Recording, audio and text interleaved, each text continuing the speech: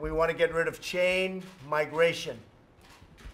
This man that came in, or whatever you want to call him, uh, brought in with him other people.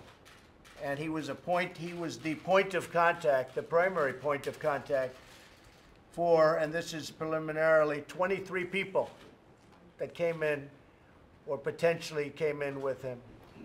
Uh, And that's not acceptable.